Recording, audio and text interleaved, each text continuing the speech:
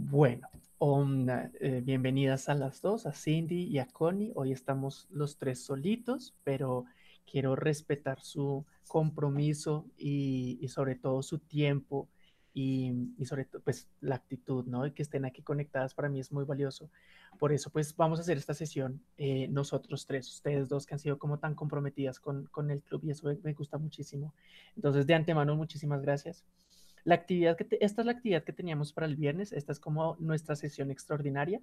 La idea es que hoy pudiéramos discutir justamente el final de la hojarasca y pues por supuesto esta sería como nuestra última lectura.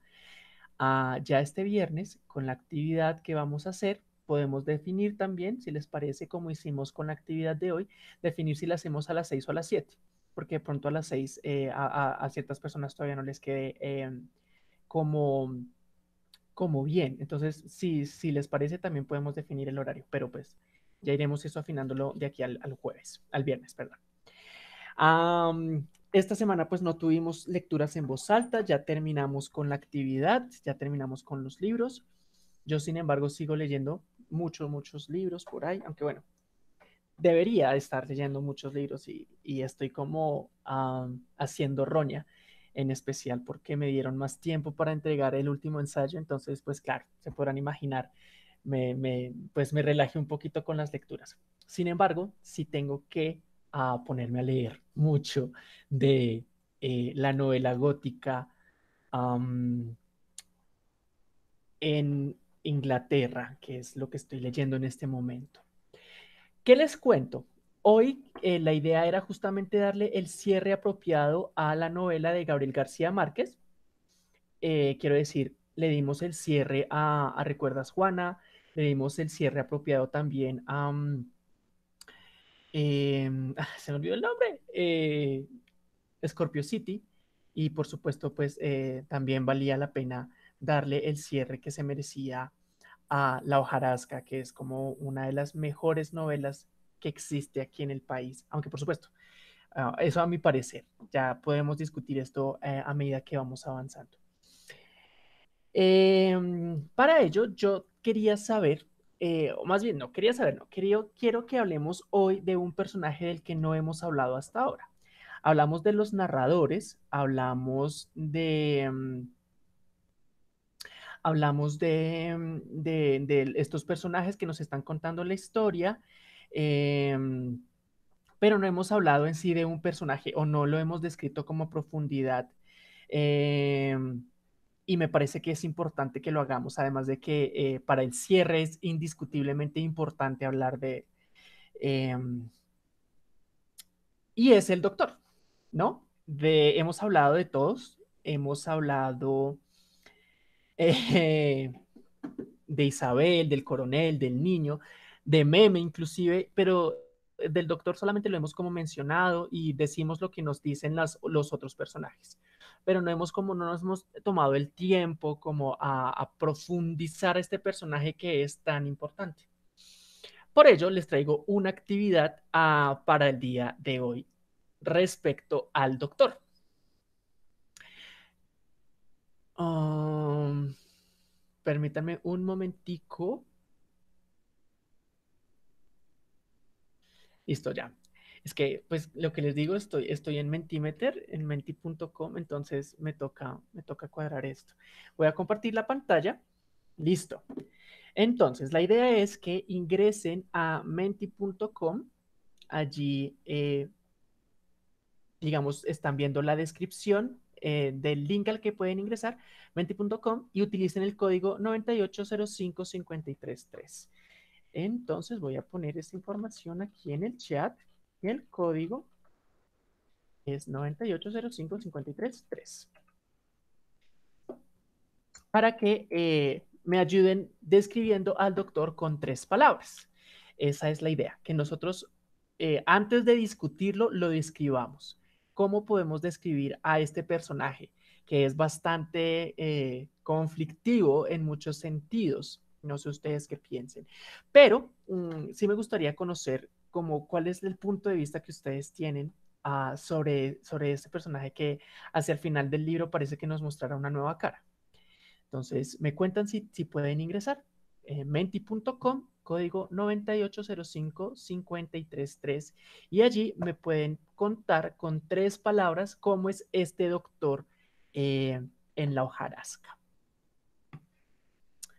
Yo, mientras tanto, bueno, yo creo que yo también voy a entrar para, para poner también mis tres palabras.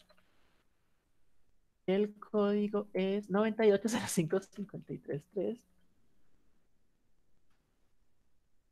Listo, entonces aquí ya aparezco yo. Ah, no, todavía no hay respuestas. Bueno, vamos a ver.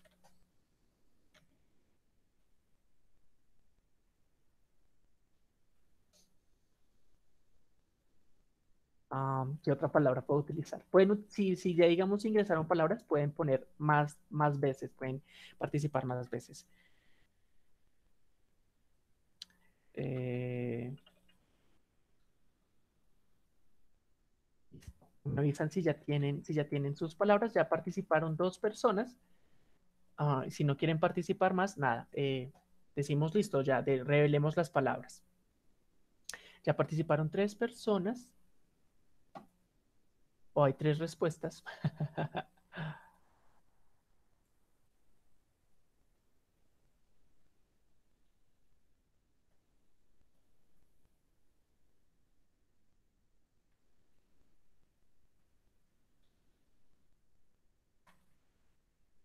Sí, listo, ya participamos todos. No sé si quieran dar más respuestas o ya, vemos. Listo, veamos pues.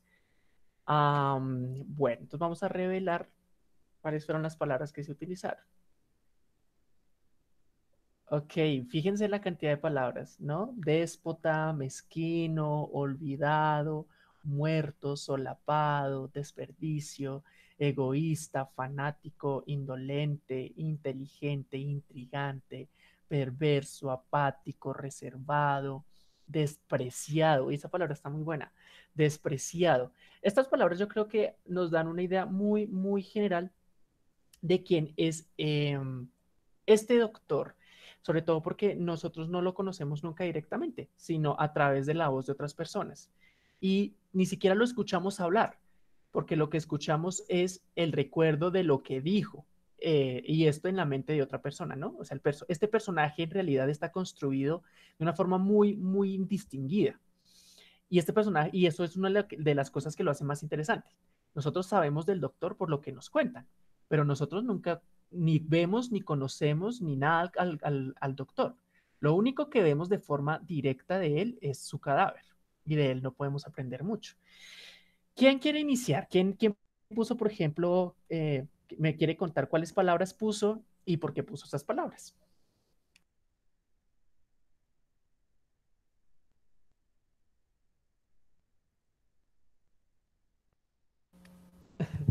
Eh, buenas noches. Hola, buenas noches.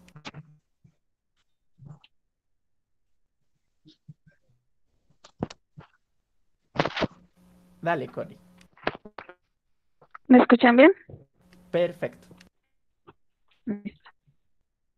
Eh, bueno, yo puse, eh, puse la inteligente. Mm, ¿Cuál otro? ¿Eh?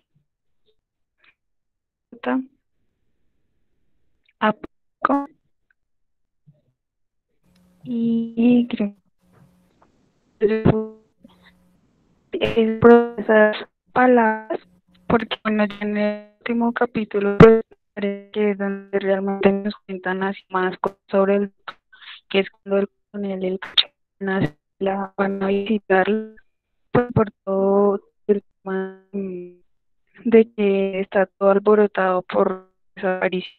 Y entonces la decisión de ir a visitar. Y ahí pues contar todo lo que pasó con el doctor y lo que pasó con Meme, porque Meme se fue porque me estaba embarazada mucho tiempo, entonces eso fue solapado, porque pues en ningún momento nadie se dio cuenta que había una relación y él pues serio, callado, sin decir nada, mm, y en un momento pues ya uno se da cuenta que él estaba era con, con ella y pues uno se da si de pronto habló o qué. De hecho, la ella y dice que le dice al coronel conocía, la compararía con la hija, porque Coronel dice que era como una hija para él. Sí. Eh, también es inteligente porque pues tiene la profesión de, del doctor y pues tengo entendido que él tenía su, su, negocio, atendía a la gente y eso y ya cuando, cuando llegan los bárbaros eh, pues entonces es cuando heridos y la gente eh, se acuerda de que había un ya en una esquina por allá entonces es cuando empiezan a llevarle los los enfermos y pues creo que el doctor pensó, ah, sí, se acordaron de mí, pues yo no les voy a ayudar. Entonces, él tenía su conocimiento, pero pues, pues no, digamos que no lo empleó de pronto, no sé, por orgullo o, o sí, pues no, la gente igual no, no lo aceptaba. Eso que Connie está diciendo es, muy interesante. Qué pena que te interrumpa porque después se me olvida. y, es, y es una pregunta que quiero que tengamos ahí como en cuenta y vayamos pensando. Y es ¿por qué no abrió la puerta? Listo, sigue, Connie. Eh, bueno, eh, también puse mm, me parece que no pone en lugar de las demás personas, sino que solamente le importa a él mismo. De hecho, ni siquiera eh, él no fue con yo creo que como por, como porque está embarazada, entonces eh, dijo, no, pues yo voy a ser un caballero y la, y eso me pareció algo caballero, me pareció pero nadie sabía lo de M. Él era, ah, también yo puse reservado, por lo que él era muy reservado en, en esa en eso él no le decía a nadie nada porque él pudo ir y contar que, que me, estaba embarazada y pero no le dijo nada, se cayó, aguantó absolutamente todo pues, lo que le, lo que le dijeron las personas. Pues, sí, pero entonces eh, ya cuando le preguntan sobre meme, entonces él, él dice, no, pues ella de un momento a otro se fue y no volvió. Yo le di ahí un dinero que tenía y ya y le preguntan por el bebé y él dice, no, pues yo no me acordaba de eso, o sea, ni siquiera se acordaba de eso, entonces a mí me parece que no se pone como en el lugar de los demás y, y piensa en el bienestar, ni siquiera de, de, un progenitor, entonces eh, sí, me parece terrible. Pero todo lo que tú estás diciendo, Connie, a mí, o sea, digamos, dices, tienes muchos puntos en común con lo que yo pienso. Em, y lo que, lo que haces también es repetir las preguntas que, que, me nacen cada vez que pienso en este personaje y es, ah, bueno, primero lo que te, la pregunta que les comentaba, ¿no? ¿Por qué no abrió la puerta? Uno. Y la segunda pregunta que me nace es, ¿por qué es así? ¿Por qué este, por qué este personaje es así? Es una de las preguntas más que todavía no logro contestarme. ¿Por qué construyeron o por qué Gabriel García Márquez hizo este personaje así? Es... Eh, porque reniega de su profesión, porque come hierba, porque tan solitario, que de hecho cuando tú hablabas de, por qué elegiste la palabra reservado, yo pensaba en que esa, esa, reserva puede ser más bien soledad. Y en ese caso yo comparto un poco la opinión con lo que dice el coronel y es que el man es, el man es un man muy solo, ¿no? Listo, Connie, muchas gracias. No sé si, si Cindy o Eider nos quieran compartir sus, sus palabras. Eh, hola. Hola. pues yo puse, em, puse fanático, puse, eh, no, ay, ¿cuáles puse? Fanático. Ahora se me olvidó, creo, creo que indolente y despreciado o algo así.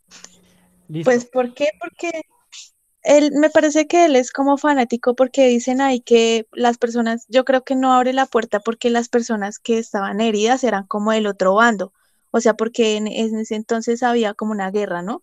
O algo así. Sí, había una guerra civil. Eso, eh, que era pues precisamente por lo de la llegada del, de, de, la, de, la, de las bananeras al pueblo, ¿no? O algo así, es que no me acuerdo bien. Es que la cosa, la cosa, ahí también estás tocando puntos importantes, pero bueno, continúa y ya llegamos allá, sí, sí, sí.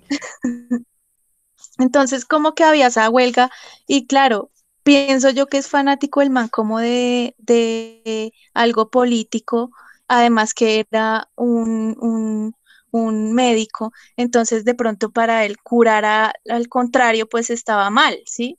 Era muy fanático a su, pues a su partido, a su ideal, y pues no quería atender entonces a nadie que no fuera de su bando, es lo que yo pienso.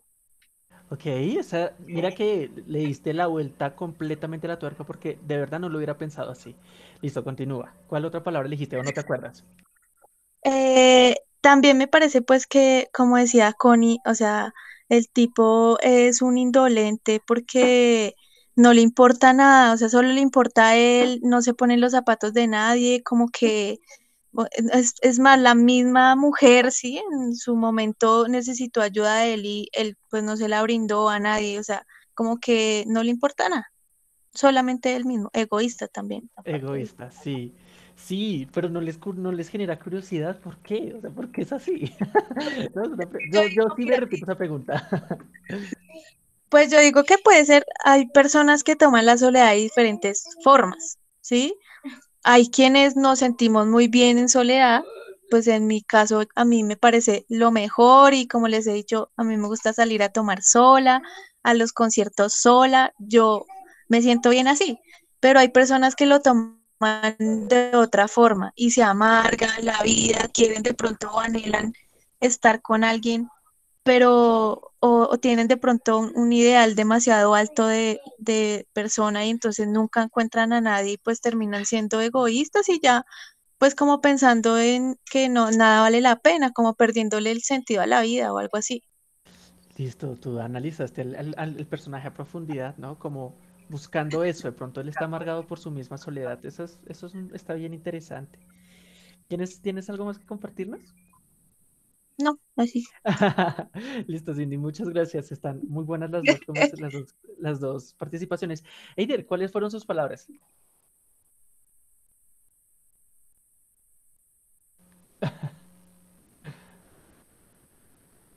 ok, bueno, yo ¿cuáles puse mientras, mientras Eider, Ah, perdón, perdón, es que lo que pasa es que estoy con las manos un poquito ocupadas. Ah, ok. Y estoy preciso en el celular, entonces me demoro mientras desbloqueando, entrando, voy allí. Yo sí tuve problemas con decidir las palabras porque, eh, digamos, lo que usted decía al principio. No, se, o sea, no nos describen tanto el carácter del man, sino nos lo cuentan a través de diferentes hechos de diferentes personas.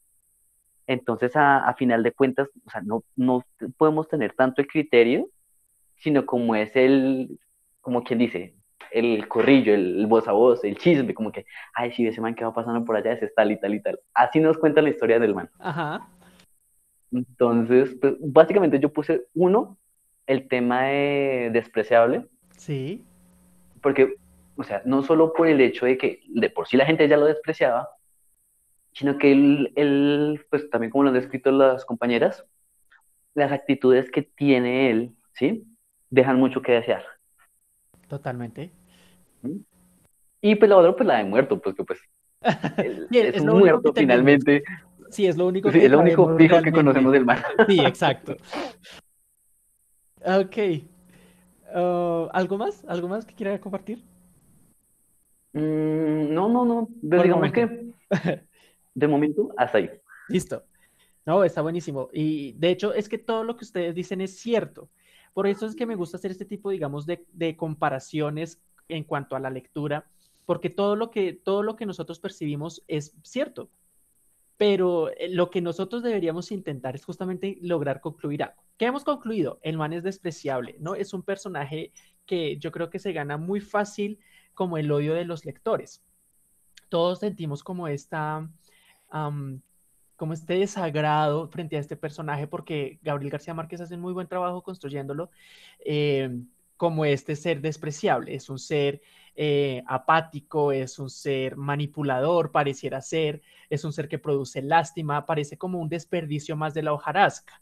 Inclusive nos, nos dan a entender que el primer, primer persona, la primera persona que utilizó el término hojarasca en Macondo fue el doctor.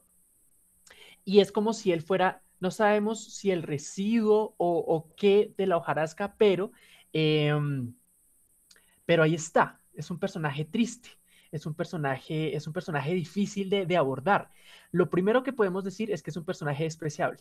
¿Qué más podemos decir de él? Hacia el final del libro, por eso, digamos, es tan importante que hablemos del personaje hacia el final del libro, nos enteramos de un montón de cosas y es un poco lo que Connie nos estaba contando, ¿no?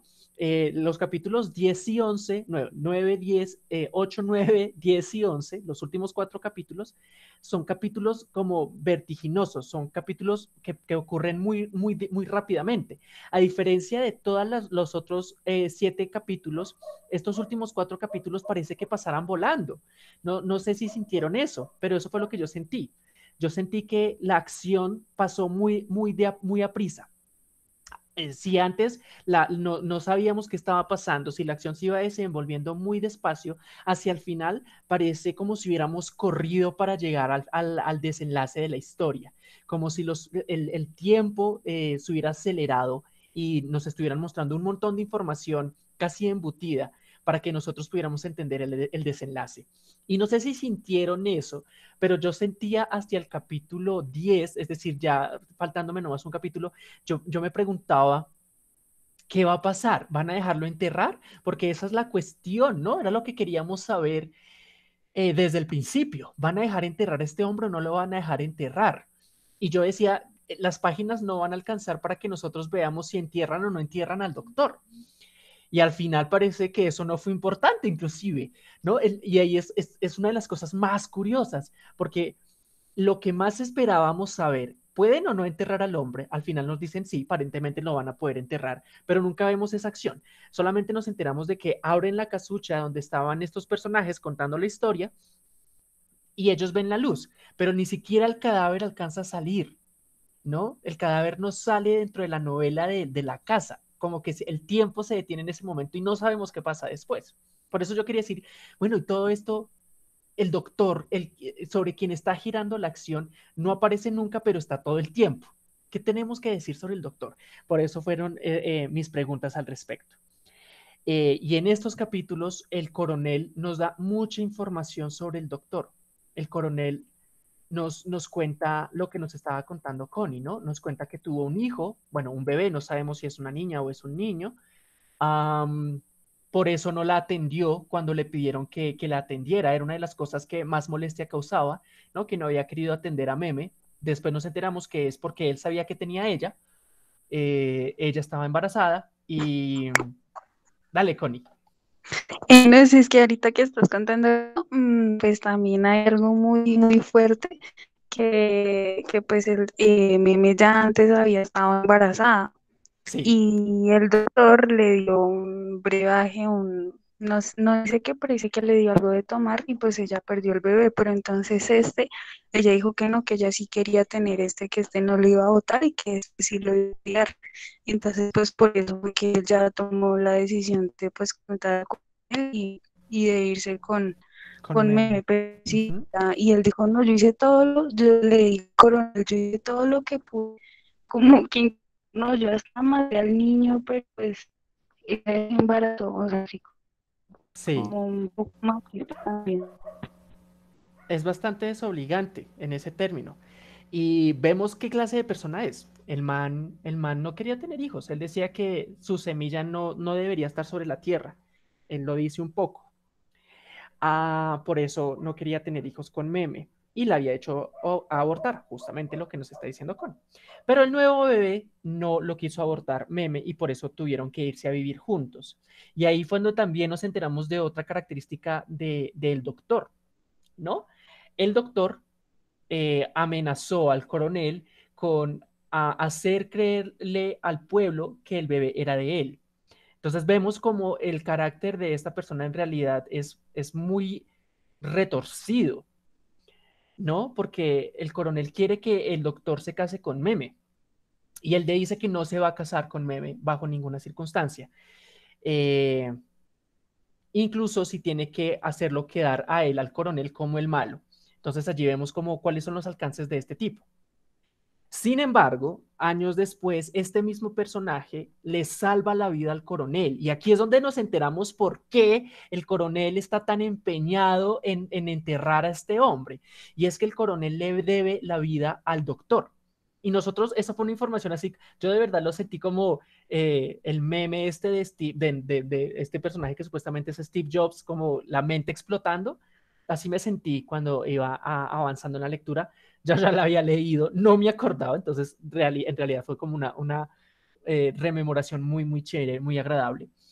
Eh, y fue porque el doctor, después de que el coronel tuvo una caída, el doctor le salvó la vida. Y prácticamente eh, lo que él espera como forma de agradecimiento, o lo que él esperaba como forma de agradecimiento, era pues que lo enterraran, porque él sabía que, que no lo iban a enterrar, ¿no? Entonces, eh, allí como que se empiezan a aclarar todos estos misterios que íbamos viendo. ¿Por qué, el papá, ¿Por qué el coronel estaba tan empeñado? Ya lo sabemos. ¿Por qué no atendió a Meme? Ya lo sabemos. ¿Por qué no atendió a los hombres? Cindy nos da una, explicación que me parece muy chévere y es justamente uno de los temas que quería que tratáramos. Y es la guerra aquí dentro del libro. La guerra parece un poco imperceptible, pero la guerra está ahí latiendo. La guerra está en todos lados. El coronel mismo y el mismo doctor son, son estos personajes que son los recuerdos o lo que quedó de una guerra. Mm, y con este trasfondo nosotros sabemos que allí está pasando algo no se menciona de forma explícita dentro de, la novela, pero nosotros podemos empezar a deducir que esa, cantidad de muertos que hubo y de heridos que hubo tienen como trasfondo em, la masacre de las, de las bananeras, ¿no? Por supuesto, nunca se mencionan eh, nombres de personajes como, digamos, históricos, pero el hecho en sí mismo es muy provocador.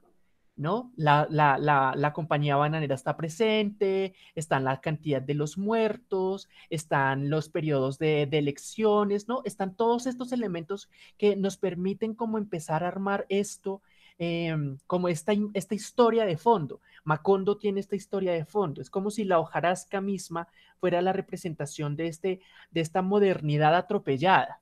¿No? Como de estos cambios de tiempo que empezaron a surgir durante los 20 en Colombia y todos estos periodos de guerra, eh, las pugnas por partidos, ¿no? Esto también está presente y de pronto no está siendo así como tan explícito como lo estoy diciendo yo, pero como nos dice Cindy, todo esto está allí, está jugando con, como, con nuestras propias expectativas y con la información que tenemos. Y es algo que hace muy bien Gabriel, Gabriel García Márquez, ¿no? Él juega con la información que poseemos y nos hace estar pidiendo siempre más, siempre, siempre más nos está pidiendo em, como nos, a nosotros como lectores, ¿no? Queremos enterarnos muchísimo más.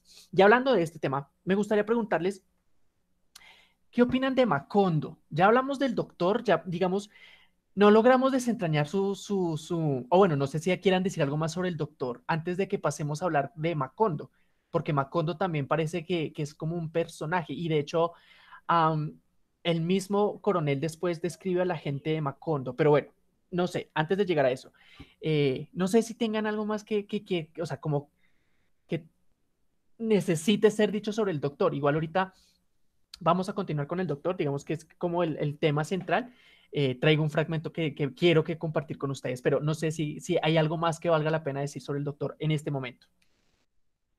De pronto, que consiguió fue el cachorro. Ellos nunca se, conocieron ni nada, pero fueron a visitarlos, se hicieron amigos. Incluso él lo defendió para que la gente no entrara a lincharlo por no atender a las. Entonces a mí me dio raro esa esa relación que pudo entablar, porque pues el cachorro como que no, o sea, sí estado, pero él no, no es como de llevarse con, la gente. Em, entonces, con, el doctor sí, eso le, le quedó súper bien y lo entendió, fue como si conociera y se llevó bien con él. Entonces sí me pareció extraño, eso no explica nada más. Sí, eso que dices es muy cierto, esa, esa relación también fue muy inesperada y bastante extraña. Y uno tiene que, mirar con pinzas esa relación que está pasando ahí, porque el, cachorro aparece después de una conversación que tuvo el doctor con el coronel, en el que el coronel le preguntó si creía o no creía en Dios. Y después aparece este personaje. Parece que de fondo también tenemos esta cuestión sobre, sobre qué cree un hombre y qué hace un hombre, eh, en últimas, pues un, hombre. Em, y él le decía que él no sabe si él, si él es ateo o si él es creyente, le decía el doctor al coronel. y sin embargo, ante esa respuesta, parece como que encontramos una, eh, como un eco en el cachorro, porque nos dicen que el cachorro también fue como un integrante del ejército, retirado, después tomó la sotana, y él no predicaba la Biblia, sino él predicaba el almanaque Bristol. Entonces es como que el cachorro también tiene esta, esta misma eh, discusión entre si cree o no cree en Dios. Parece como que estos dos personajes puede que se acerquen por ese lado, la, dificultad para, para reconocer su fe o para negarla. Em, y pues todas las implicaciones que una cosa o la otra tienen. ¿Qué implica creer en Dios? ¿Qué implica no creer en Dios? Eh, y pues bueno, esto también es un juego muy interesante. Tienes toda la razón con esa relación con el cachorro también fue bastante, bastante inesperada. Ahora sí, eh, ¿qué opinan de Macondo, de ese pueblo? Ya lo mencionamos un poco, pero la pregunta aquí real es cómo podemos, cómo se relaciona Macondo, este Macondo de prostitutas, este Macondo con el corazón podrido, este Macondo, lo dice, digamos, en las palabras del coronel, este Macondo que se acostumbró a tomar, a recibir a dos manos eh, sin esforzarse y de un momento a otro quedaron pobres y en la inmunda, quedaron como amargados, quedaron como resentidos. ¿Cómo es este Macondo en comparación a la Bogotá de Scorpio City? Es una de las preguntas que más me, me palpitó en la cabeza mientras yo terminaba de leer esto. No sé, ¿ustedes qué, podrían decir cómo es esa ciudad? Porque Macondo parece que es un pueblo, pero parece inclusive a veces hasta más caótico y como más resentido que la misma Bogotá, ¿o no? ¿O cómo es? Una de, las expresiones que más se han utilizado aquí es como pueblo pequeño, infierno grande. Pero ¿cómo es esta, cómo es, cómo es, cómo se comparan estos dos espacios? ¿Podríamos decir que Macondo también es un personaje, como dijimos que Bogotá era un personaje? Eh, pues yo sí creo que Macondo es un personaje. O sea, y porque también él detalla mucho cosas y como tú dices, eh, también está podrido como Bogotá. O sea, yo creo que lo que Gabriel García Márquez quiere es como ponerle un nombre bonito al, pero contar realmente lo que pasa en las entrañas de los pueblos, cómo es la prostitución, porque puede que uno acá en Bogotá lo vea, pero en muchos pueblos también se ve eso, ¿sí? esas entrañas todas pues podridas, mucha prostitución, drogadicción, eh, pues eh, habladurías, ¿sí? Bueno, eh, peleas o riñas por cualquier cosa, bueno, entonces yo siento que es como una forma de hacer que uno metafóricamente vea qué es lo que está pasando en la ciudad realmente. Te tengo una pregunta, ya que te animaste a abrir el micrófono. Y es una pregunta que me surge aquí en el momento. ¿Cómo puedes, qué, podrías decir tú entonces, desde tu lectura, de la literatura colombiana en relación a este tema? No, no sé si es la guerra o qué, ¿no? Porque fíjate, la hojarasca se escribió en el 54 y Scorpio City se escribió en el 98 o se publicó en el 98. Fíjate, hay 40 años de diferencia y parece que las dos novelas están denunciando lo mismo. No, y no solo eso, sino que desde esa época hasta este momento, uno lo lee y dice, juepucha, o sea, esto pasa, esto pasa, matan indígenas, matan eh, personas todo el tiempo, eh, matan estudiantes, eh, si uno quiere decir algo, lo callan más ahora, pues no quiero hablar así de política en este momento, pero digamos que con el gobierno actual se ve mucho más el hecho de la censura hasta en redes sociales que nos pasó a varios que nos han censurado, que yo decía, o sea, no se, no se, eh, no piensan de pronto en que realmente hay personas que se están muriendo de hambre y siguen contratar políticamente a personas que miren quién está hablando mal del presidente o sí, y censuran a esas personas y eh, no sé, se ve mucho más el, desnivel entre las personas ricas y pobres y todas esas cosas que no debería ser. Como que no hemos cambiado, como que seguimos reflexionando sobre lo mismo. exactamente lo mismo. Todo sigue siendo igual. De hecho, yo siento que hasta los mismos políticos siguen siendo los mismos. Sí, ¿no? La hegemonía, las familias de los delfines. Sí, los mismos apellidos, las mismas caras. Y pues nosotros estamos como en, en, ese primer nivel o como en el engranaje más bajo, ¿sí me entiendes? Sí. Pero somos muchos, también hace falta, acá en Colombia todos estamos esperando un Mesías que nos encamine o en todo lado se como que se espera ese Mesías, pero no hay que engranarnos todos y empezar a funcionar, creo yo. Pero para eso se necesita pues de tiempo, ¿no? Me gusta mucho lo que Cindy nos comenta. Uh, porque empezamos con, un comentario simple que era como Macondo, cómo se relaciona con Bogotá, y terminamos haciendo como una especie de análisis muy general sobre la literatura colombiana. Eso me gusta bastante. ¿Tienes algo más que comentarnos? No. no sé, muchas gracias Cindy. Si, si de pronto Connie, Eider o Esmeralda, bienvenida, ¿tienes algo, tienen algo que agregar sobre, sobre estas dos ciudades, ¿no? bueno, Macondo es más un pueblo, según nos dicen, eh, y esta Bogotá que leímos al inicio del club de lectura. Pues digamos que las comparaciones ahí, pues obviamente lo que ya dijo usted, em, ciudad pequeña, infierno grande, que digamos que es una de las comparaciones que yo hago entre la ciudad que describe en Scorpio City y en Macondo. O sea, las ciudades son un personaje en la medida que son eh, todos aquellos vidas invisibles de las cuales se nos narra pero que no conocemos. ¿sí? Sí. Sabemos que en el pueblo todo el mundo odia al médico, pero no sabemos nombres ni personas exactas de pronto tal vez. Eso está buenísimo. Entonces, en esa medida, el pueblo cobra vida a través de sus habitantes y se vuelve un personaje. ¿sí? Y más en este caso... Ajá. Sí, sí, sí. Es más en este caso que hay un sentimiento eh, compartido entre ellos, ¿sí? Exacto. A diferencia de Scorpio City. De Scorpio City no había tanto un, sentimiento compartido porque cada uno tenía su vida y eran, digamos que en cierta medida, más aislados. Cada uno era más independiente en su propio mundo, ¿sí? El, sentimiento compartido que había entre ellos era la opresión de las cabezas, ¿sí? de lo que decía de pronto Sindertica, los de, de sus gobernantes, ¿sí? Ese era el sentimiento compartido. Pero propiamente un sentimiento que los uniera más allá de eso, no. ¿Sí? Había quienes veían eh, la ciudad de pronto un poco más, más luminosa, con algo más de expectativas, como había el, tota-, el lado totalmente contrario de personas que veían la ciudad cada vez más y más y más negra. Ajá, sí.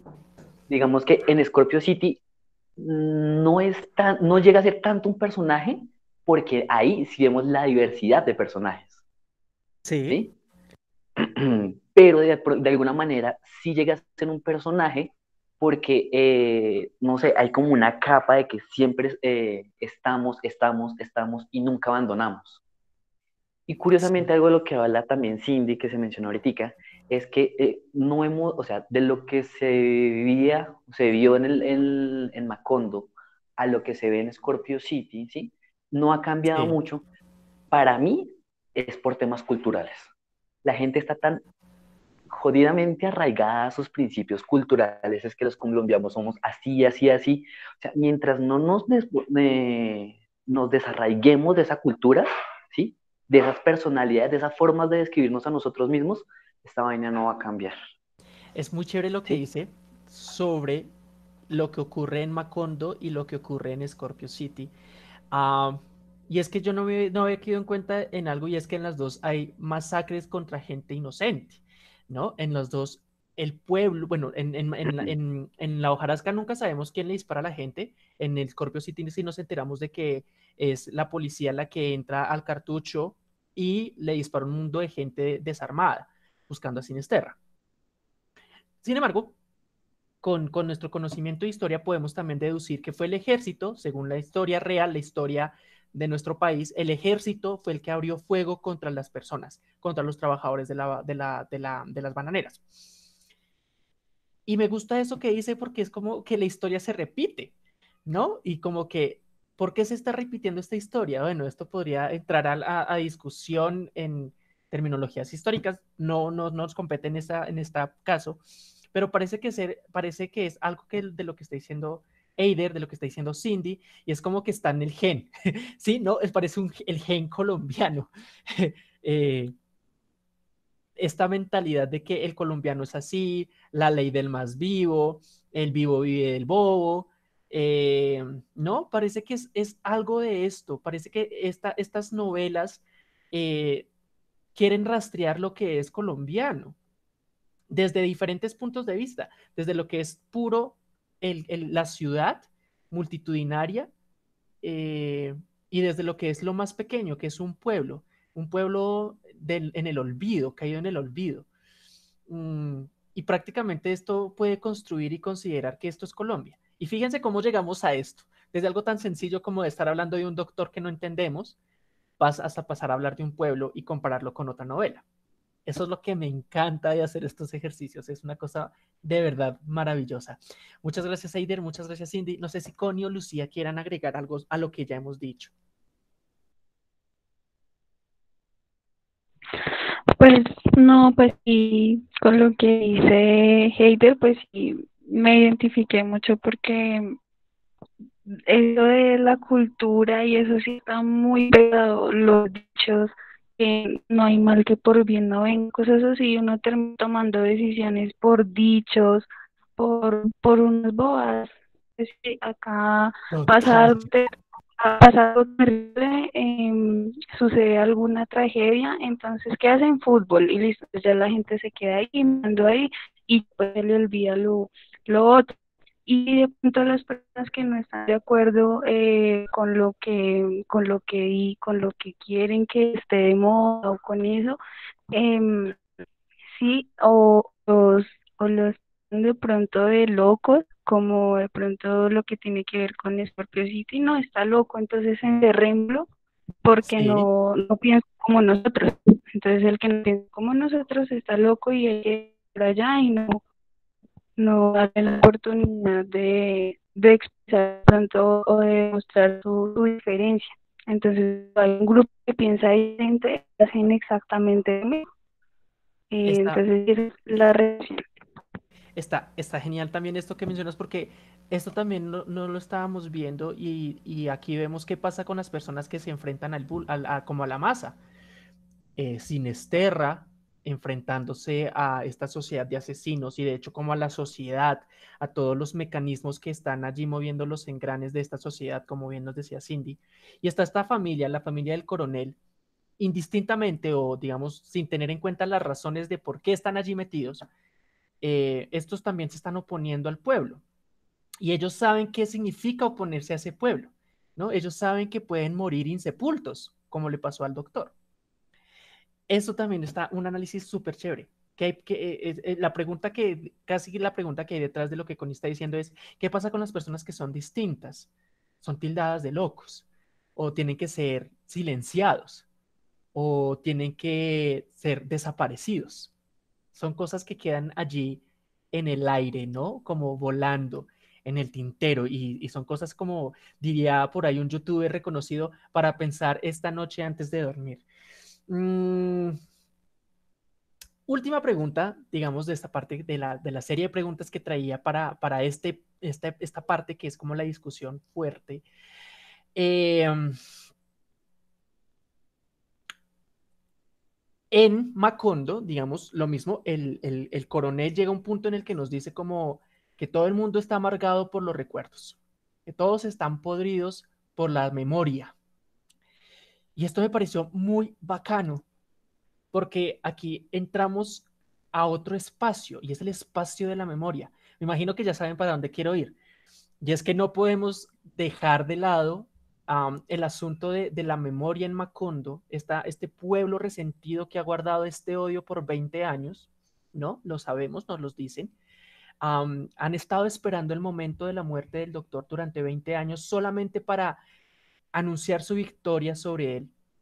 Es una memoria, es una memoria como no sé, infectada de pronto.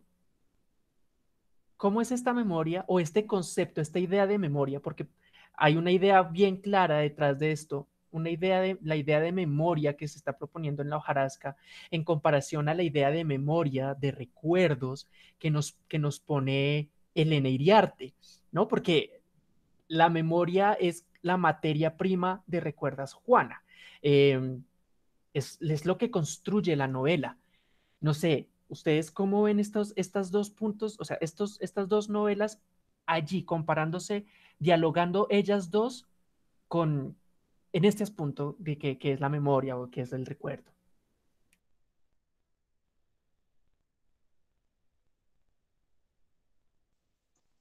Eh, pues mm, son, son como contraposiciones, porque recuerdas, Juana, eh, o sea, la memoria siempre era para que ella eh, pudiera volver en sí, o sea, a ella le decían, recuerdas, Juana, para que ella volviera a ser Juana, ¿sí? Sí, sí. Para que se volviera a encontrar con ella, digámoslo así.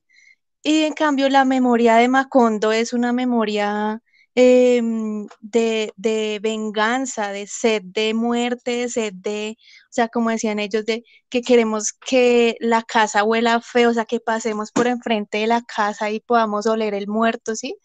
Entonces es una memoria vengativa, eh, ahí sí tóxica, que es la palabra de moda, la, la memoria tóxica, porque, o sea, ellos todo el tiempo se están alimentando de las cosas que hizo el, el, el, el que, el, el, doctor.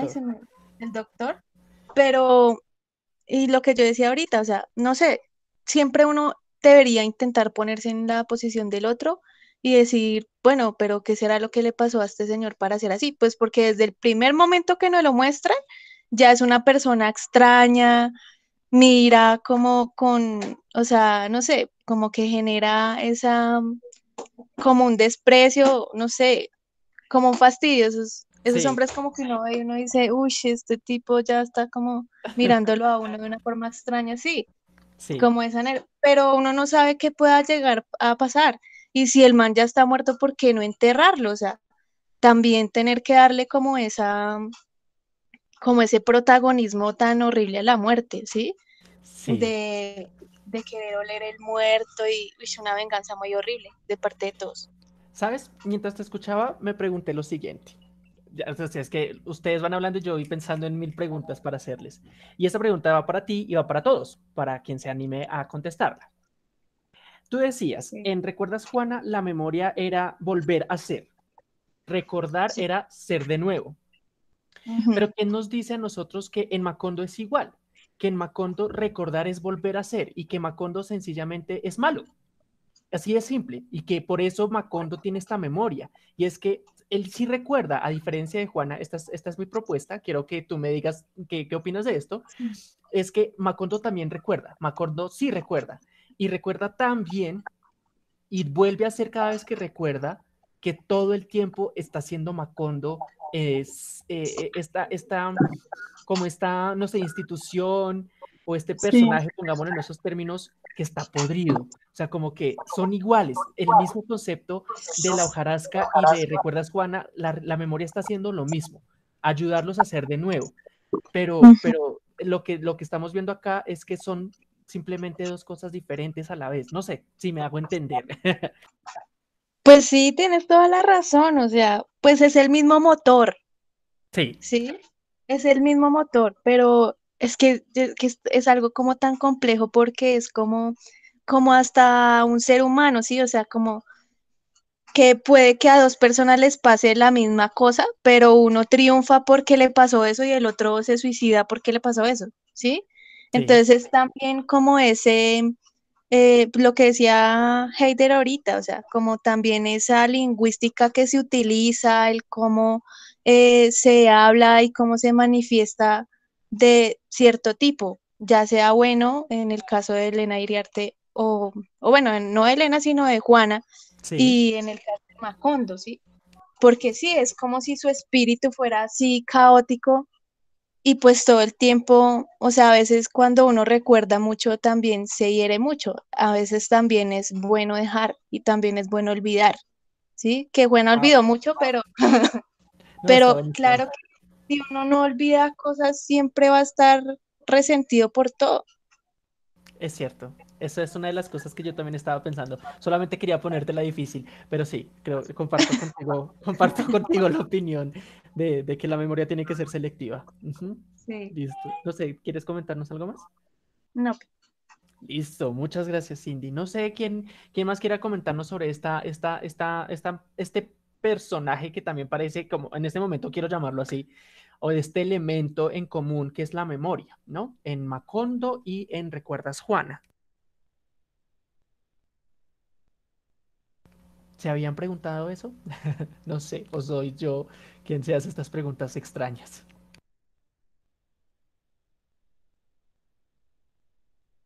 Interesante si no lo había pensado del todo. Obviamente, pues sí, el, juego, el juego de la memoria aquí digamos que es el que desenvuelve toda la trama, ¿no? Sí. Mm, de hecho, también en Scorpio City también se ve un poco el tema de la memoria porque eh, no es directamente el inspector el que está recordando toda la historia. Sí, es cierto. Nos la está narrando un tercer personaje que es el, el periodista. Es verdad, es verdad y pues todo viene también de la memoria de la, ay, se me olvidó, la chica que le cuenta la historia de, de Sinisterra. la prostituta. Ah, se me olvidó. Sí. No es Celia. Porque todo. ¿Ah? Sí, sí es Celia, la, la, señora esta de la iglesia de los. Bueno, de la iglesia. no me acuerdo el nombre. Exacto, que ella le cuenta al, al, bueno, ella se enteró de todo lo que hacía Sinisterra y también ella fue la que le contó al periodista. Entonces, la memoria, la memoria en la que se va trabajando. Y sí, digamos que lo que ustedes dicen, la memoria es selectiva, porque, bueno, por lo menos en, en, en Juana estaba como ese debate, vamos, vamos a intentar eh, no solo recordar los sentimientos, sino las vivencias y viceversa, mientras que, eh, pues, en, en Macondo el tema era esos recuerdos son los que tienen los sentimientos ¿sí? y lo que generan. Y no había un desconocimiento como tal de los unos de los otros, sino que eran juntos. Mientras que en Juana yo siento que sí hay una desconexión en ambos. Sí, sí, parece que había una, hay una excisión bastante clara, sí, señor. Y pues en Scorpio City sí es más como de, el tema de interpretación. Porque pues eh, sí, o sea, se narran sentimientos de momento de, de Sinisterra, ¿sí? Pero como es la historia de la historia, tampoco podemos eh, decir, no, si es que fue tal cual. También yo digo que fue interpretación del, del periodista, ¿sí? De que de todo lo que estaba pasando, él debió haberse sentido así, o sea, se involucró en su personaje. Es cierto. De, de hecho, si lo vemos desde lo que nos está comentando Eider, nosotros tampoco conocemos nunca Sinisterra y de hecho no conocemos nunca ningún personaje, sino que nos cuentan cosas de ese personaje, ¿no? Como nos cuentan sobre el doctor, porque después nos dicen, no, toda esta historia es la reconstrucción de lo que dice Celia y de lo que yo escribí. Entonces ya sabemos que no es, no es un personaje omnisciente, sino es un personaje, eh, perdón, no es un narrador omnisciente, sino es un narrador posterior a la historia exactamente como lo que está ocurriendo en Macondo. Eh, en ese sentido, entonces, yo trato de juntar todo. En ese caso, es como que la, la misma hojarasca o la misma novela de la hojarasca es una reinterpretación del doctor, ¿no? Y de todos los acontecimientos de Macondo. Eh, me gusta muchísimo lo que están diciendo los, los comentarios de Idir y de Cindy, porque esto nos ayuda a ampliar, o eso considero yo, espero que, que no sea, que, no sea solamente mi caso, sino que también pues para, para ustedes sea de esta misma forma, como ampliar nuestro marco de lectura y de interpretación. No solamente de una novela, fíjense cómo estamos conectando tres novelas que parecen muy diferentes y de hecho son muy diferentes. ¿sí? La hojarasca es una cosa muy clara, muy bien definida. Recuerdas, Juana, es una novela muy clara, muy definida, es decir, es, tiene una personalidad propia muy diferente a la hojarasca y lo mismo pasa con Scorpio City. ¿No? Son tres novelas súper diferentes, pero vean cómo pudimos dialogar con las tres al tiempo, ¿no? Y eso me gusta muchísimo, porque es justo una de las cosas que como lectores también tenemos que aprender a hacer.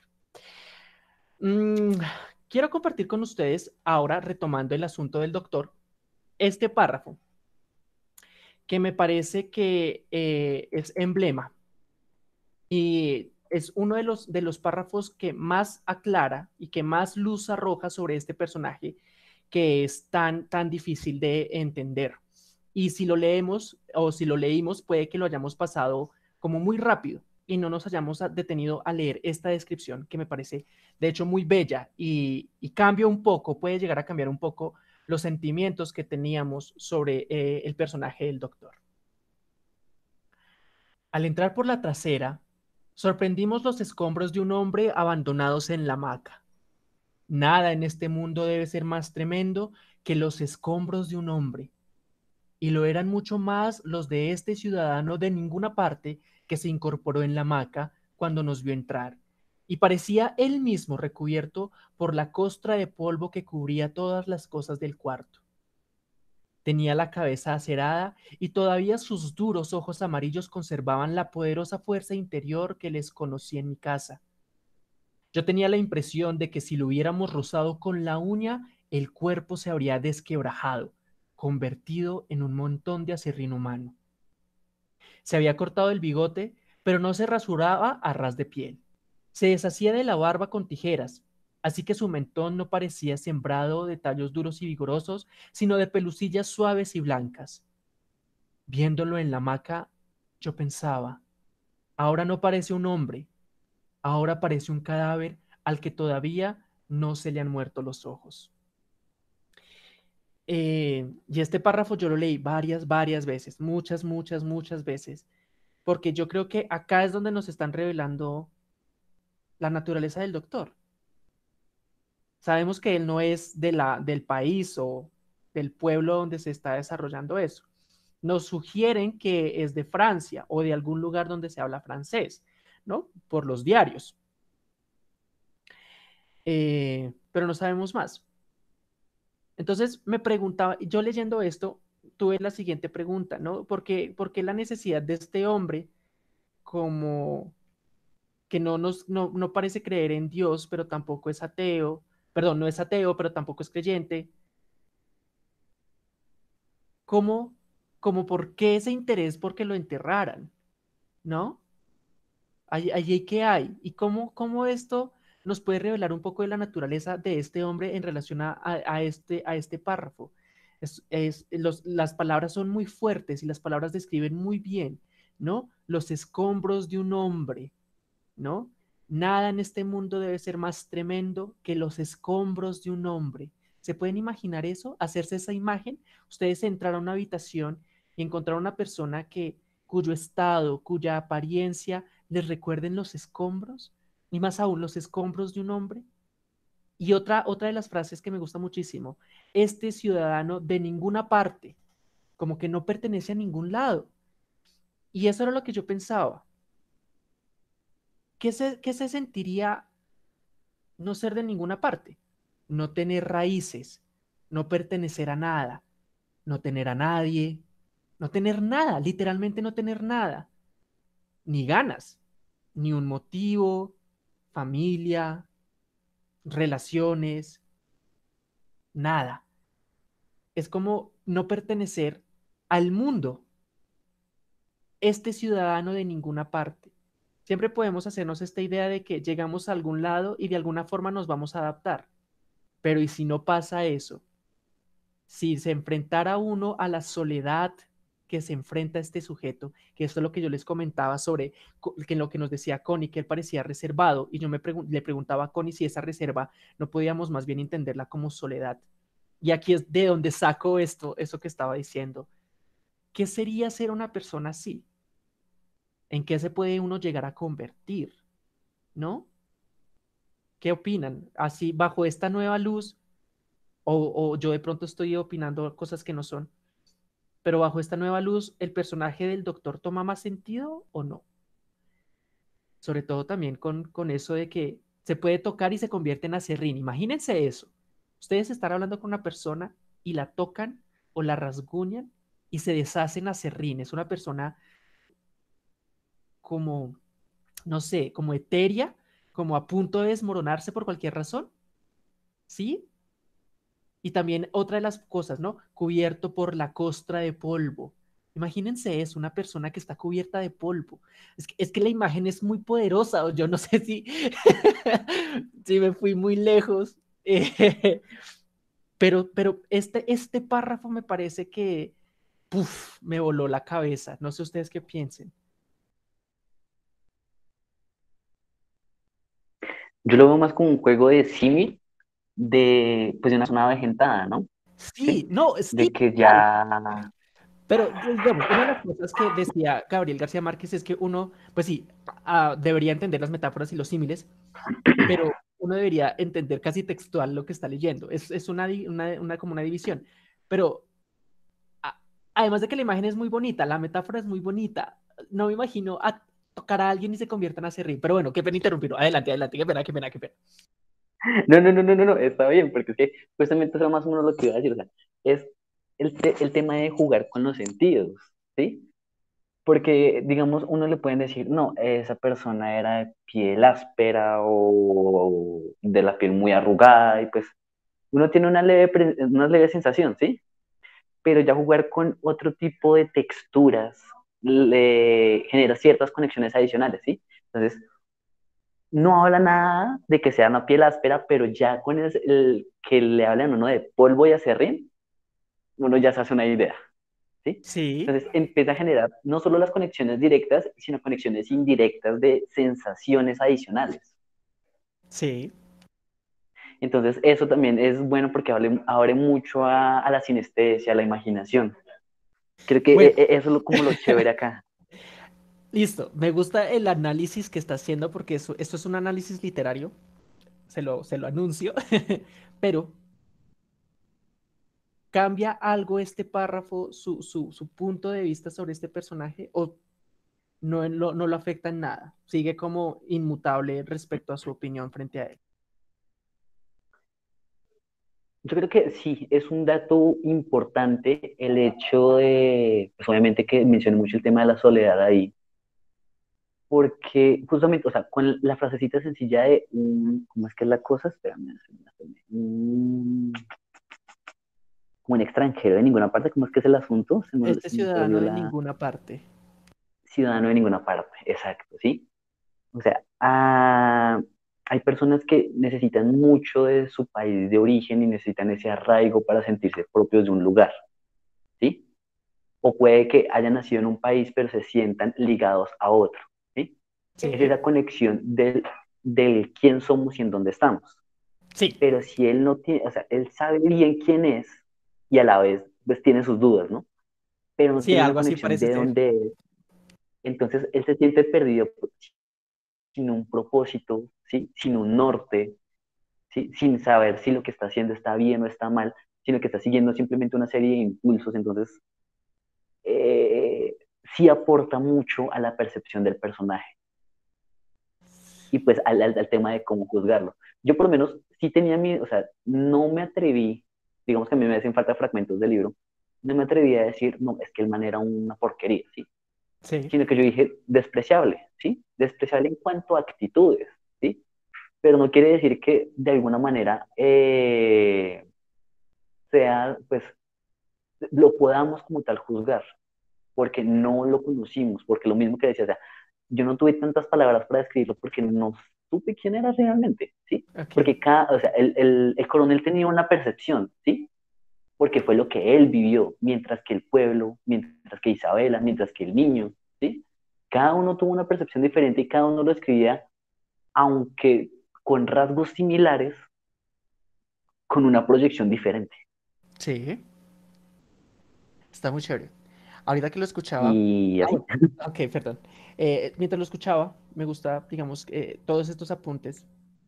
Bueno, antes de eso, ¿alguien tiene algo más que decir sobre, sobre este párrafo en específico? Eh, y si cambia algo a su punto de vista sobre el doctor. Por ejemplo, Connie y Cindy, que fueron como quienes más palo le dieron al personaje. No sé, ¿qué, piensen? Si esto de pronto atenúa, o no sé cómo se llega, atenúa, atenúa la imagen que tengan de él. Y ahí sí paso a, lo que me, surgió con lo que él estaba diciendo. Me gustaría escuchar a alguien más.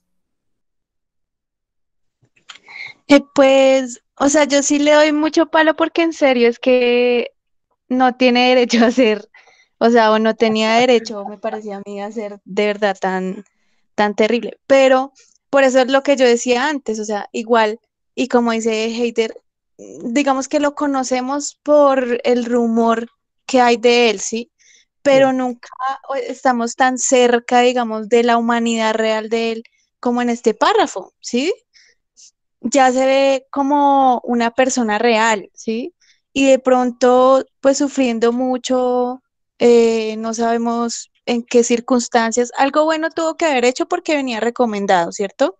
Sí. De, del otro, del otro coronel. Sí. Entonces, si él ya venía recomendado, algo bueno tuvo que haber hecho, ¿sí?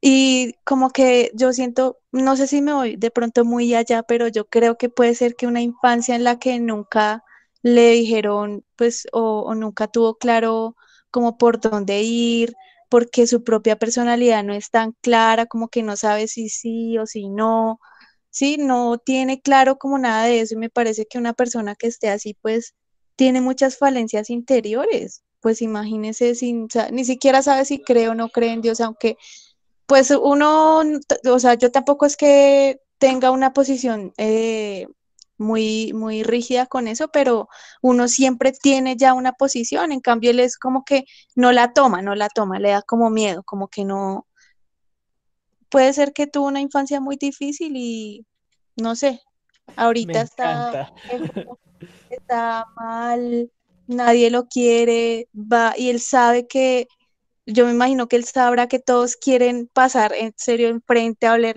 que está muerto y todo eso, pues dice, no, yo quiero que me entierren por lo menos. Sí, Está, genial, me encanta. Me encanta el análisis que haces de la infancia, no lo esperaba, o sea, siempre sales como inesperado. Eh, no, sí, y tocaste eso último que dijiste, de todo lo que dijiste, pues todo me gustó. Eh, no sé, siempre me gusta, eso me gusta mucho de, de, de, de, lo que hace Cindy y pues también he visto que otras personas lo hacen y es muy recomendable y es dejar volar la imaginación, ¿no? Pues no sabemos por qué es, pero nosotros también podemos preguntarnos por qué. Y esas, por ejemplo, esa teoría que nos da Cindy me parece muy chévere. Y el último aspecto que Cindy lo acaba de tocar, y yo les proponía la pregunta, y me, me acordé de eso cuando estaba escuchando hablar a Aider, fue el asunto de um, mm, por qué morir sepultado, o más bien por qué ser sepultado después de muerte. De hecho, es la, cuestión. Cindy nos dice eso, ¿no? Como, pues es una cuestión eh, como, como para él. Y lo que yo pienso es, y me puse en el papel, es una, digamos, como recomendación lectora, pónganse en el papel de sus personajes, no solamente de los buenos, sino de los que no son tan buenos. Sean empáticos. Connie nos decía que, el, doctor no es para nada empático, pues nosotros sí podemos ser empáticos. ¿Por qué él es así? ¿Por qué él es así? Eh, y yo me imaginé, me puse en los zapatos de él y me imaginé mi cuerpo, yo ya muerto, me, me imaginé a mi cuerpo siendo devorado por los carroñeros, ¿no? Las aves o los perros y lo sentí, a pesar de que yo, o sea, consciente de que yo no voy a ser consciente, de que yo no voy, o eso pienso, no sabemos, porque si yo no creo en Dios, probablemente no me importe mi cuerpo después de la muerte. Pero si creo en Dios, mi cuerpo tiene cierta dignidad. E inclusive, si no creo en Dios, la corporalidad, la materia de la que estoy hecho, merece algún tipo de respeto después de mi muerte. Es simplemente una cuestión de dignidad. No me gustaría que mi cuerpo, que me lleva ya durante 27 años, eh, pues terminara siendo comida para carroñeros.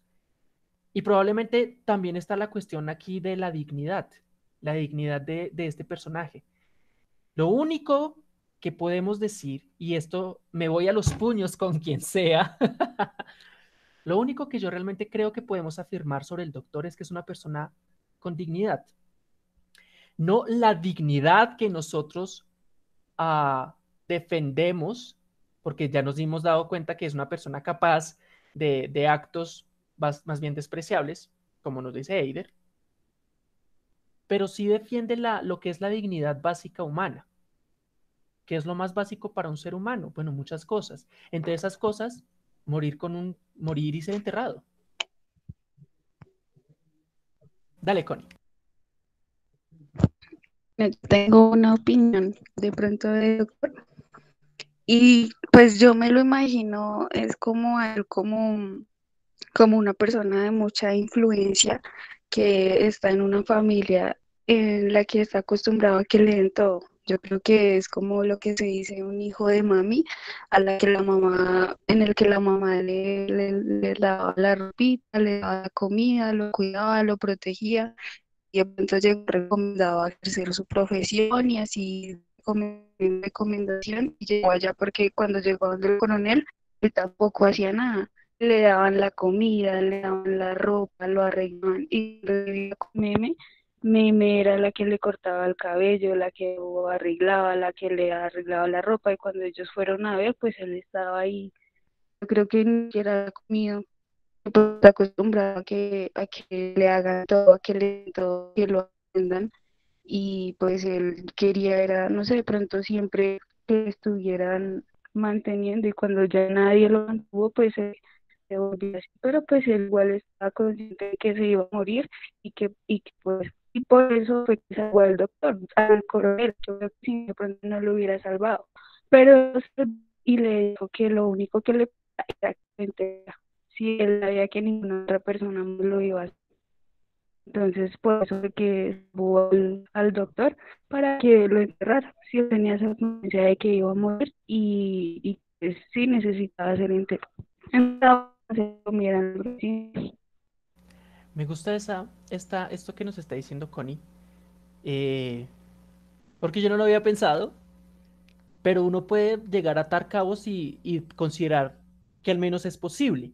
No podemos decir es verdad, no podemos decir es verídico, pero sí podemos decir es posible.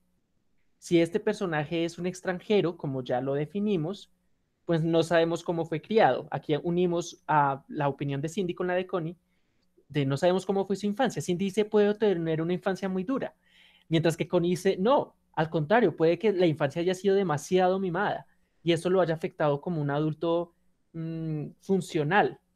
Y por supuesto, alejado de todo rastro de, seguridad familiar, pues le costó la apatía hacia sus, hacia sus, hacia la gente con la que él convivía debido a que justamente eh, pues estaba acostumbrado a otra clase y pues de vida y Macondo pudo haber roto esa burbuja y sumirlo de pronto en una apatía y en una indiferencia.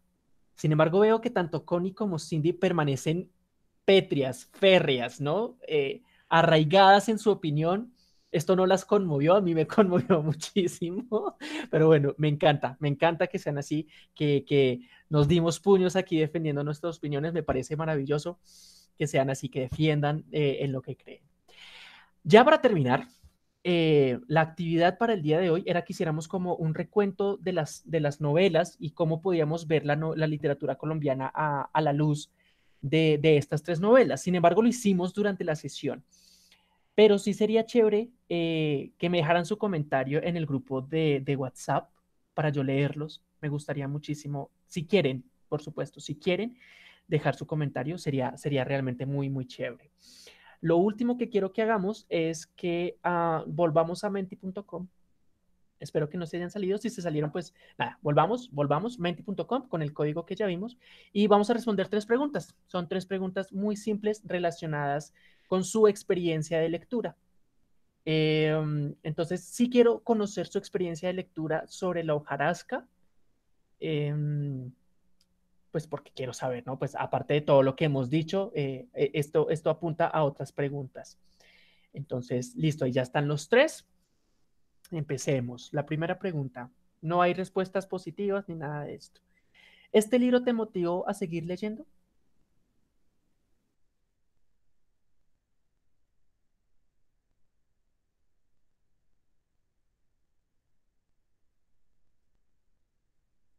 Listo, ya respondieron los tres, buenísimo. Sí, perfecto, me encanta. Siguiente pregunta.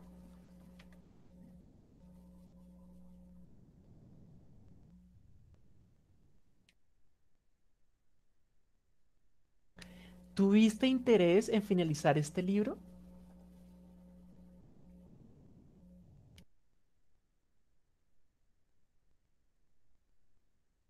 ¿Una persona nos votó? No, listo, perfecto. Me gusta. Sinceros ante todo. Y la última pregunta.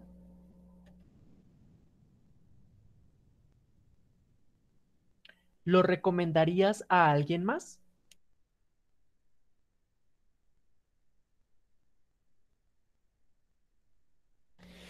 Listo, perfecto. Muchísimas gracias por, por, su participación. De verdad, para mí es muy, muy grato compartir con ustedes. Em, yo creo que el libro, y se los digo aquí de una vez, el libro va a ser para algunos de ustedes tres. Eh, como que realmente vi el interés, más, más allá del solo hecho de que, por ejemplo, para Cindy o para Eidir, que esto sea nuestro trabajo o mi trabajo, pues sí vi como un, interés realmente natural. Ah, y no solamente como, no dejemos al chino solo. y en cambio, Connie, de verdad es el, interés nato, ¿no? Eh, ella está aquí porque quiere y eso realmente es muy valioso. Em, pues igual nos vamos a despedir el viernes, entonces no, no quiero como profundizar en la despedida. Eh, sí me gustaría que, me digan qué, les pareció el club de lectura, en, porque ya el viernes no quiero hablar de eso, quiero que nos dediquemos simplemente a, la actividad o a las actividades que tengamos y ya. sí me gustaría saber cómo qué, les parecieron las novelas, em, qué les pareció las discusiones, la metodología, quiero, quiero conocerlos. Pues ya algunos eh, me han comentado, pero, pero sí me gustaría como hacer el balance del club, así en dos minutos por, por cada uno de los participantes. Menos, un minuto.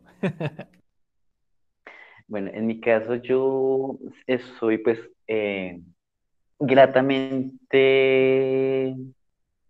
agradecido. No, no sé cómo decirlo. Eh, pues no, estoy muy agradecido porque sí, digamos que el espacio del club de lectura me pareció muy chévere. ¿sí? Eh, el tema de eh, entrar en esas discusiones, reflexionar, aprender cosas nuevas, ¿sí? Compartir opiniones. A mí me parece muy interesante, es muy chévere, digamos que analizar los puntos de vista de otras personas, conocer sus motivaciones, eh, todo ese tipo de cosas, digamos que nos contribuyen en muchas maneras. Si bien sí la lectura obviamente también nos contribuye, ¿sí? Eh, el, el, contacto de este nivel con otras personas también me parece genial. La metodología me pareció chévere, me pareció buena, digamos que esa posibilidad de compartir las lecturas en voz alta, eh, tener un tema guía, una estructura también de cómo vamos a debatir, sobre qué vamos a debatir, me pareció muy chévere porque eh, digamos que nos da un, cierto norte para no dejar todo como al, al azar, a como salga, y poder, digamos que ahondar en, en, los puntos fundamentales que, digamos, lo que pasó ahorita con, con el fragmento que nos compartió. Digamos que puede que de pronto en nuestra lectura nosotros lo hayamos pasado por alto, pero tener a alguien que de pronto sí nos dijo, oiga, se fijaron en, este, en esta oración, en este eso, mm, pues es chévere. Eh, ¿qué, ¿qué, más fue lo que nos preguntó? ¿La metodología y qué más? Eh, las actividades, las lecturas. Ah, no, pues las actividades obviamente sí, interesante porque fueron varias, abordamos diferentes cosas, digamos que no, no, no caímos en una monotonía tal vez. Eh, igual, obviamente la misma lectura también nos permitía estar descubriendo constantemente cosas nuevas. No, pero en general, chévere. Listo, Ider, muchas, muchas gracias.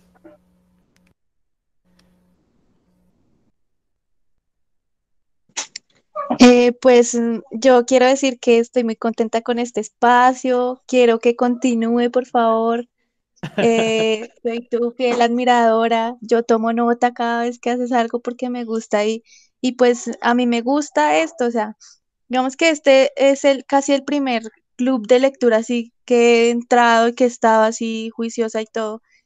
Y no, no, yo pierdo como muy rápido el interés, ¿sí? Yo pierdo rápido el interés eh, con algo así como que no, no me saben llegar, ¿sí me entiendes? Y no, ahí siempre estoy, no, tengo que conectarme o a donde esté, tengo que llegar a tal parte porque tengo que conectarme a las 5 y, todos ya saben que es que yo tengo el, ay, sí, ya se va a meter, ¿sí? Pero entonces, ¿por qué, hacen, o sea, tú haces que uno sienta eh, pues como esa necesidad de entrar, ¿sí? Porque las lecturas que uno tiene normalmente, o en mi caso, son muy técnicas, son lecturas muy mamonas.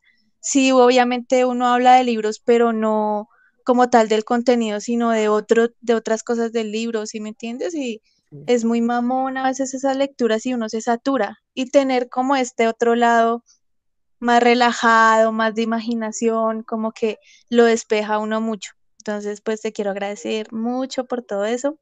Y pues también a Connie, que de verdad que está acá, o sea, sin, sin que nadie le esté pujando, diciendo como tú dices que no sea que hay, que es que me tocó o algo así, sino que como te digo, o sea, realmente uno dice, quiero estar porque quiero aprender, porque ya me leí el fragmento, quiero comentarlo con alguien, vi tal cosa y quiero comentarla, quiero decirla, así. Entonces, es como ese espacio que tiene uno en la semana para poder hablar y discutir con otras personas, ahora que estamos con todo lo de la pandemia, que ya casi no nos vemos y estamos muy separados y todo eso. Es como ese espacio que tenemos para poder interactuar entre todos pues las actividades me han parecido súper chéveres, como te digo, he tomado nota porque necesito también hacer esas actividades el otro semestre. Entonces, em, yo te felicito mucho porque nos sabes llevar mucho. No sé por qué últimamente se conecta tan poquita gente y creo que podríamos hacer algo como una encuesta en las redes o algo para saber qué día es el apropiado, porque pues yo siento que puede ser el día en el que lo estás haciendo, porque pronto todo el mundo piensa en salir el viernes, o sea, pienso eso, ¿no? Porque, eh, no, o sea, lo que uno aprende, no solo del libro, sino como ahorita hablábamos, el hecho de también contextualizarse uno en el, en el momento, en la actualidad, en qué está pasando, en qué pasó antes, en cuál es su historia, ¿sí?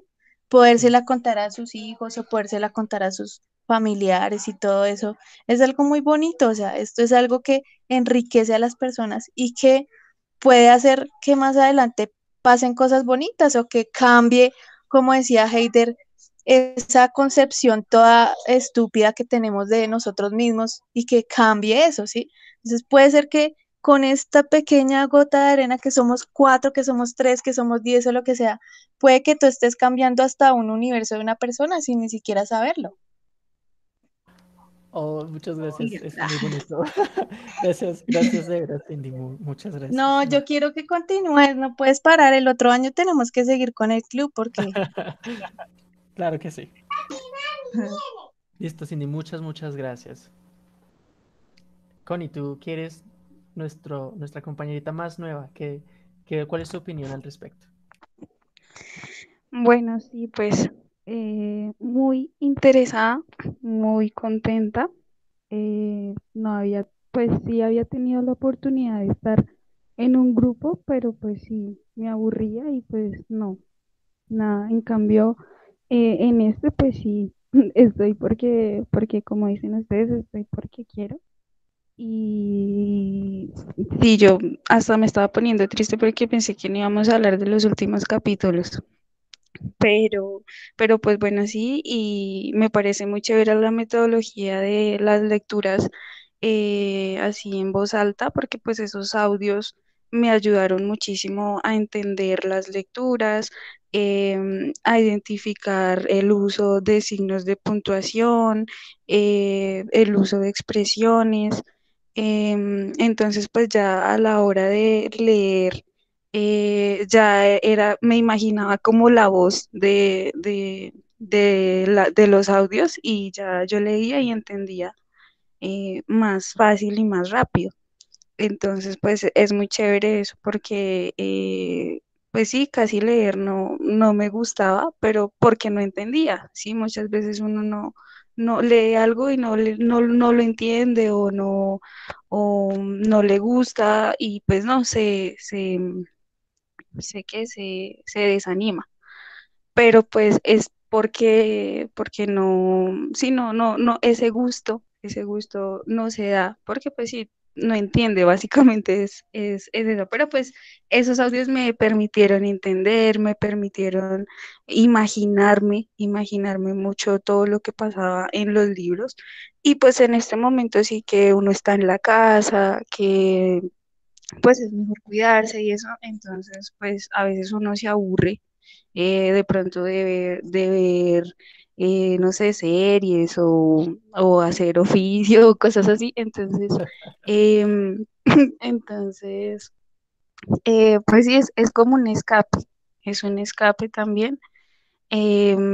Porque si uno se imagina otras cosas y también las compara con, lo que le está pasando, las compara con, el mundo, las, las compara con incluso con personas que tiene uno cercanas que de pronto tienen esas actitudes eh, que se reflejan en los personajes principales de, las lecturas y pues eh, también le dan a uno como ganas de, de escribir, de investigar más, de leer, y pues sí, yo también quiero que siga el club de lectura, ojalá siga, me gusta mucho la metodología que usan, todo eso, ojalá pues sí se conectara más gente. No sé por qué no se conectan, sí, es súper chévere. sí, me gusta mucho. Muchas gracias, Connie. Muchísimas gracias a, ustedes tres eh, que están aquí sacrificando horas, tiempo, y de verdad eso lo valoro muchísimo. Eh, pues me despido con ustedes tres porque el viernes, pues sí, por supuesto, es nuestra actividad de cierre. Eh, volveré a despedirme como de quienes se conecten. Pero pues nada, darles las gracias por acompañarme, sobre todo en esta, en esta, eh, este experimento casi, ¿no? Esta es una nueva metodología que estamos utilizando para el club de lectura. Eh, es la primera vez que tenemos como un plan de lecturas tan definido y un cronograma como tan definido creo que nos fue bien con eso, con las lecturas y con el cronograma. Por supuesto, el club de lectura, yo ah, aspiro y espero que continúe el próximo año. Por mi parte, yo estoy ya súper preparado mirando qué leemos. Yo todas las sesiones les digo una idea diferente. La idea es pues eh, ver cuál cuaja más pues para, para seguir acompañándolos también en, sus propias experiencias de lectura, porque todo el mundo tiene una experiencia diferente y es, es lo que yo quiero que rescatemos siempre, la, nuestra propia experiencia de lectura. Y cada uno de ustedes pues me, me da a entender eso, su propia experiencia. Y para mí es de verdad muy valioso porque si mi experiencia de lectura les aporta a ustedes, créanme que todo lo que ustedes dicen, toda la experiencia que ustedes comparten conmigo, también me, me enriquece a mí, me transforma, me nutre muchísimo. Entonces, muchísimas gracias por participar, muchísimas gracias por estar eh, con nosotros acá. los invito, por supuesto, a la actividad eh, de clausura este viernes. Recuerden, la idea es que si ustedes tienen algo que quieran mostrar con, eh, mostrarnos, a todos los participantes en, el club de lectura sobre las lecturas que hicimos, puede ser, no sé, repito, un poema, una canción, un juego, un dibujo, lo que quieran mostrarnos será bienvenido para nuestro espacio de este viernes. El espacio va a ser de ustedes. Eh, nada, eh, solamente me queda compartir con ustedes el, el susurro de esta semana y, y ya. Lecturas para susurrar al oído, una actividad del Club de Lectura del Crayusta Don Quijote Rockstar. El rayo que cayó dos veces en el mismo sitio. De Augusto Monterroso.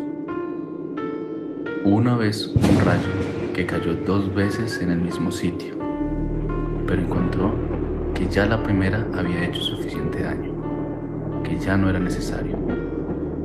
Y entonces se deprimió mucho. Lecturas para susurrar al oído, una actividad del Club de Lectura del Crayusta Don Quijote Rockstar. A todos, muy buenas noches, descansen y nos vemos el viernes. Chao, que estén bien. Chao, gracias a todos.